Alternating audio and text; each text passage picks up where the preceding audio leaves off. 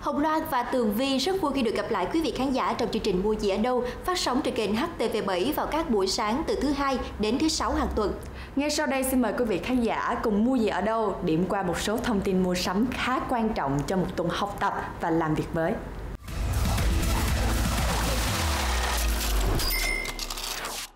Mở đầu chương trình hôm nay sẽ là một thông tin vui đối với quý khán giả thường xuyên di chuyển bằng xe buýt từ thành phố Hồ Chí Minh đến Đồng Nai và ngược lại. Thưa quý vị, sau hơn 20 ngày tạm dừng để phòng chống dịch bệnh, thì hiện nay 5 tuyến xe buýt kết nối hai tỉnh thành trên đã chính thức hoạt động trở lại.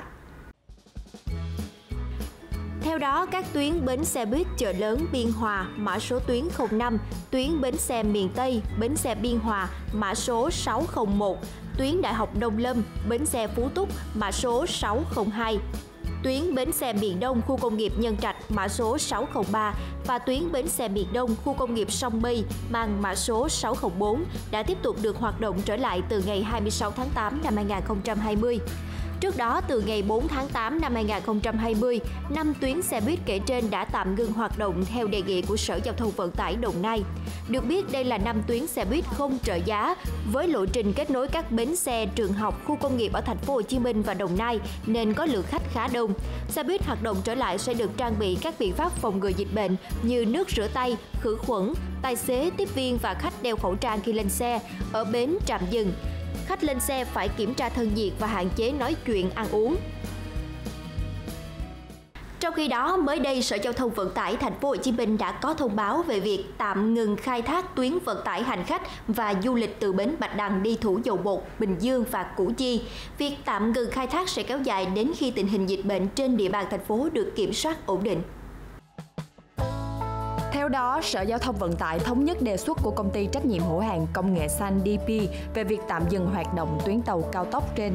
Đề xuất này nhằm đảm bảo an toàn, đáp ứng nhu cầu đi lại thực tế của hành khách, đội thuyền viên, nhân viên phục vụ cũng như thực hiện chỉ đạo của Ủy ban nhân dân thành phố về tạm thời ngừng hoạt động các cơ sở dịch vụ và hạn chế tụ tập đông người để đề phòng chống dịch trên địa bàn. Tuyến tàu du lịch Bạch Đằng Bình Dương Củ Chi vừa được khai trương vào ngày 10 tháng 7 năm 2020. Toàn tuyến có cự ly 78 km,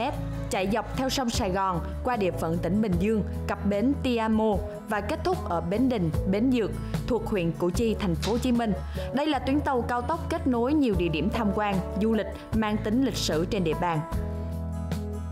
Nếu yêu thích và có niềm đam mê sưu tầm trải nghiệm âm thanh từ những chiếc radio cassette cũ thì chắc chắn quý vị khán giả sẽ không thể không ghi chú lại địa chỉ rất đặc biệt mà mua gì ở đâu sẽ giới thiệu ngay sau đây.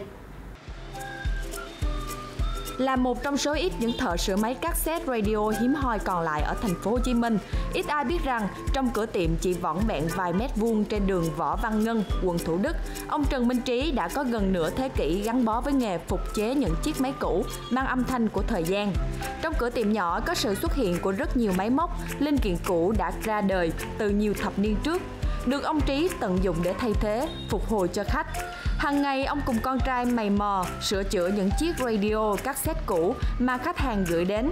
Có sản phẩm đã tồn tại từ những năm 1950. Cũng có không ít chiếc máy vì quá lâu đời, ông Trí phải mất nhiều tháng mới tìm được linh kiện phù hợp để thay thế. Càng ngày mình thấy thích thì mình mới ờ, theo đuổi cho đến ờ, ngày hôm nay. Thì khi mình sửa xong được á, hoàn thành đó thì mình rất là vui. Bởi vì đó là những cái kỷ niệm của người ta kỷ vật. Ví dụ như là đó là những cái họ nhìn nữa đó họ họ, họ hồi tưởng lại những ký ức của của họ. Với tuổi đời gần 50 năm, cửa tiệm của ông Trí hiện là điểm đến quen thuộc của những khách hàng có đam mê sưu tập radio, cassette cũ hay đơn giản chỉ là muốn gìn giữ một món đồ đã từng gắn bó với mình. Hiện nay ngoài việc tìm linh kiện để thay thế, sửa máy radio, cassette cũ, ông Trí còn dành thời gian nghiên cứu thêm cách hoạt động của những thiết bị hiện đại để có thể sửa chữa cả nồi cơm điện, bếp từ, lò vi sóng,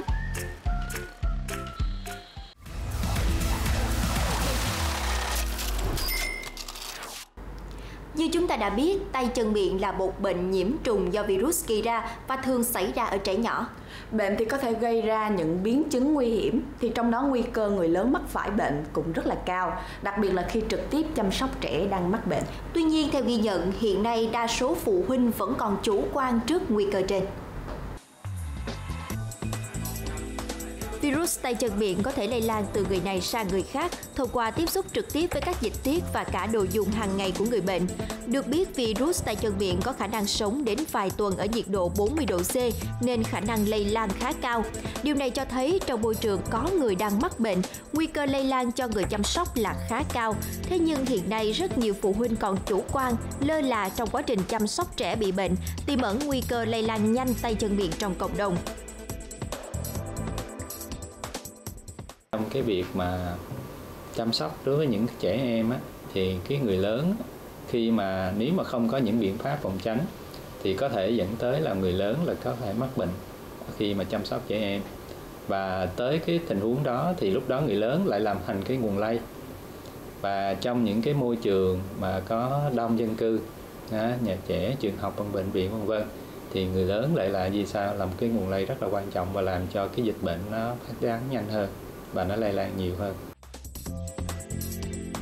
Bệnh tay chân miệng ở người trưởng thành có thể nặng hơn so với thông thường với các triệu chứng như ho, sốt, mệt mỏi, đau nhức cơ. Đặc biệt, phụ nữ mắc bệnh khi mang thai có thể dẫn đến nhiều rủi ro như tăng nguy cơ sảy thai, thai chết lưu, nhiễm trùng khi mang thai. Do vậy, khi chăm sóc trẻ mắc bệnh, quý khán giả cần lưu ý thực hiện các biện pháp phòng ngừa như giữ an toàn, vệ sinh khi tiếp xúc với trẻ để đảm bảo nguồn bệnh không lây lan.